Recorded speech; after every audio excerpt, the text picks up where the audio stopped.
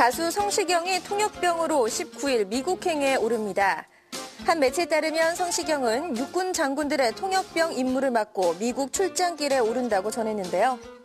현재 원주 1군 사령부 내 군악대에서 복무 중인 성시경은 능숙한 영어 실력을 인정받아 국립현충원에 6개월가량 통역병으로 파견된 적이 있으며 이후에도 통역병 역할을 수행해온 것으로 전해졌습니다.